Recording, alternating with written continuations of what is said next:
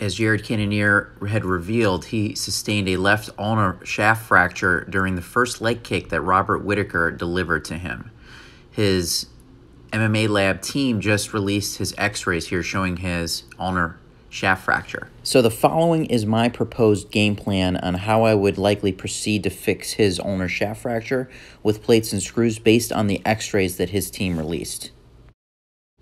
First, we should look at the fracture very closely. So I have arrows here on the free-floating pieces of bone uh, that were likely from the leg kick directly.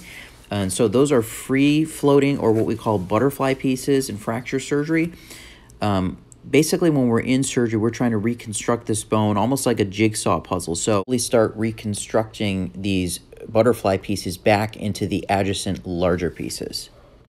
So take this x-ray, for example. You see the two butterfly pieces. However, the top one is probably too small to hold a screw and likely won't be captured. So I would take the proximal portion here, or the large piece, and apply it adjacent to the proximal ulna shaft and then fix it there with a screw. So notice how our first screw just went bone to bone and did not go through the plate. We call this a lag screw. After our lag screw is secured, we can now apply the plate onto the surface of the bone.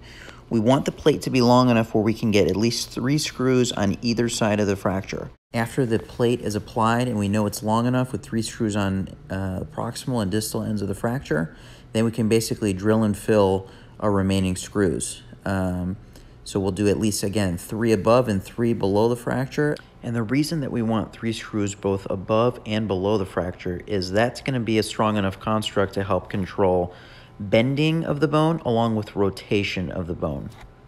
So here is a picture of a ulnar shaft after uh, getting plates and screws or what we call open reduction internal fixation.